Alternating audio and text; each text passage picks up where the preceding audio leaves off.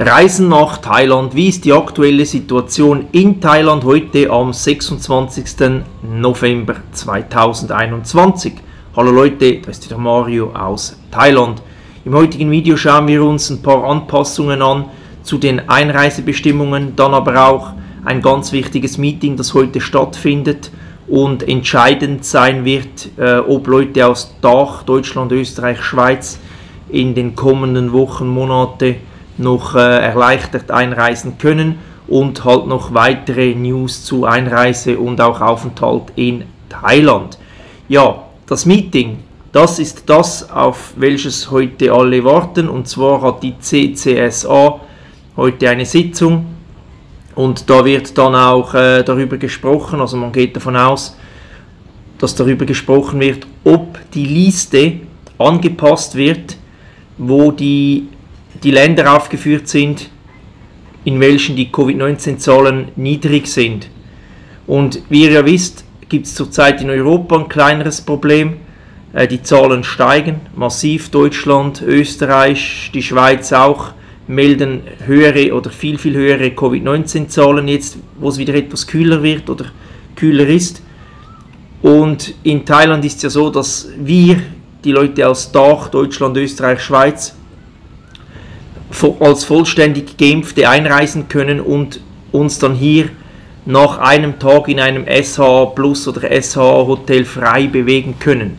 Sollte jetzt aber heute in Thailand bei dieser Sitzung entschieden werden, dass Dach nicht mehr auf der Low-Risk-Country-Liste sein sollte, dann äh, werden die Einreisebestimmungen für uns aus Deutschland, Österreich, Schweiz angepasst und wahrscheinlich auch die umliegenden EU-Länder wo dann halt eben die Covid-Zahlen auch höher sind. Aber mehr dazu dann, wenn wir das Ergebnis der äh, heutigen Sitzung äh, wissen.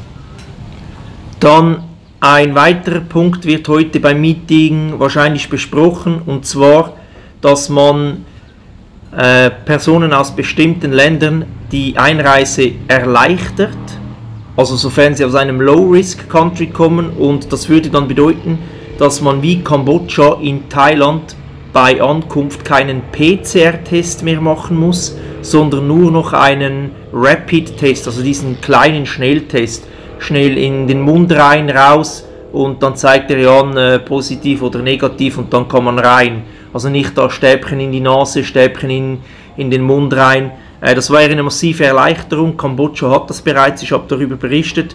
Auch das wird heute entschieden.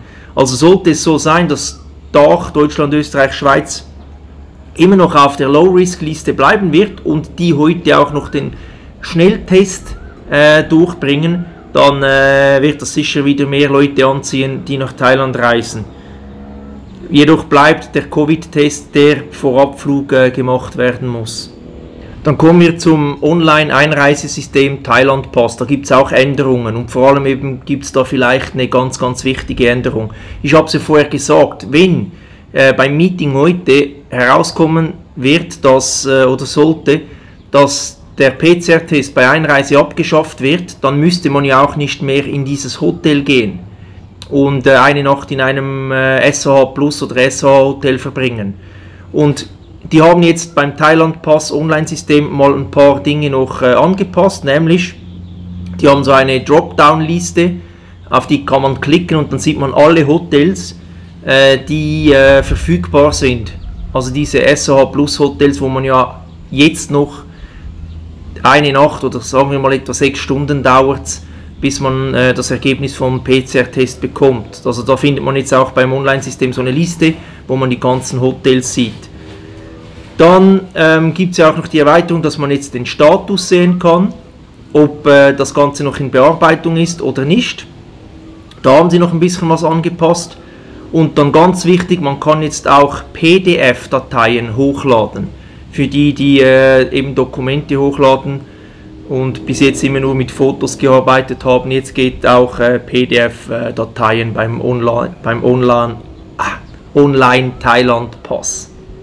Und äh, in diesem Zusammenhang mit dem Online Thailand Pass auch noch eine wichtige Meldung. Personen, die ab dem 15. Dezember oder nach dem 15. Dezember einreisen möchten, die können erst ab dem 1. Dezember den Thailand-Pass äh, ausfüllen online oder beantragen.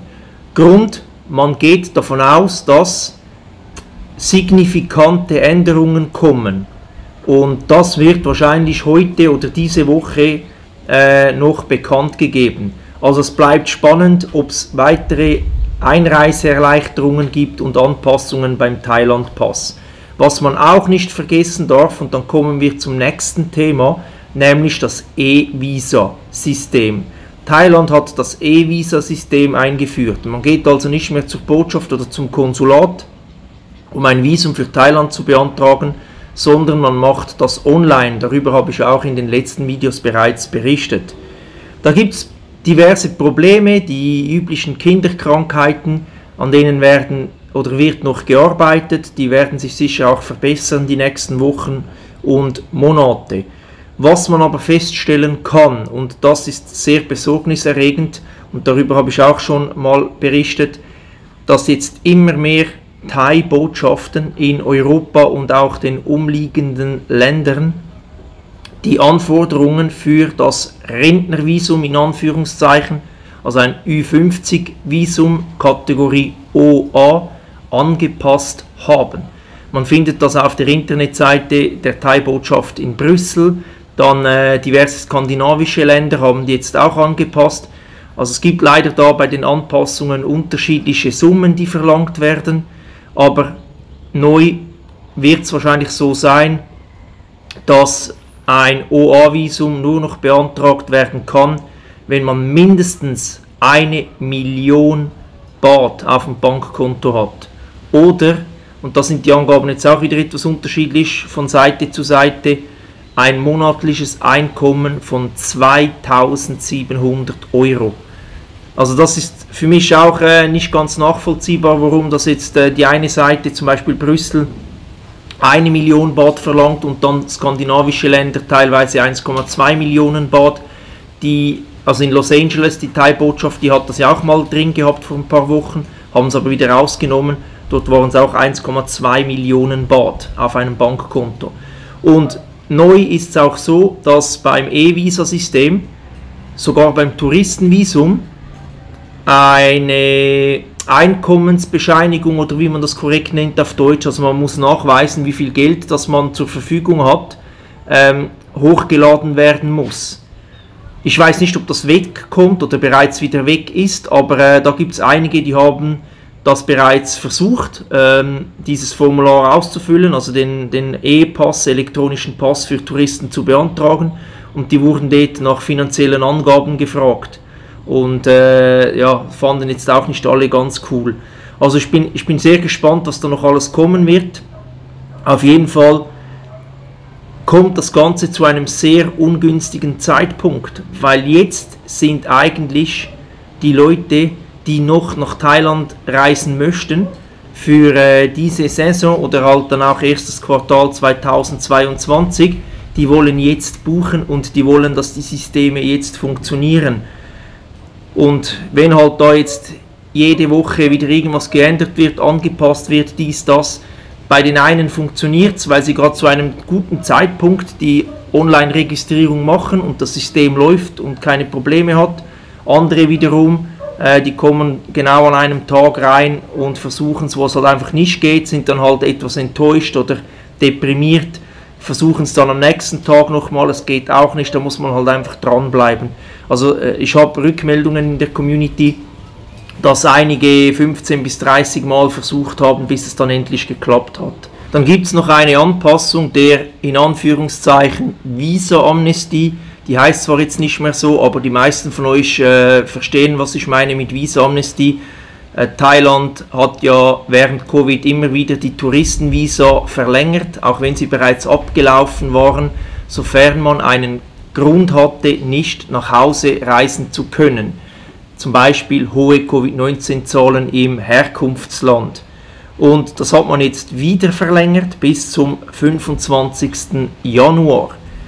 Aber die Immigration hat auch ganz klar gesagt, es werde jetzt ganz genau überprüft, ob man nach, also zurückreisen kann oder nicht. Und nur Leute, die schwerwiegende Gründe haben oder halt wirklich nicht nach Hause können aufgrund sehr hohen Covid-Zahlen oder Krankheit oder dass sie in Thailand noch in Behandlung sind. Nur bei denen wird äh, das Visum, das Touristenvisum noch verlängert.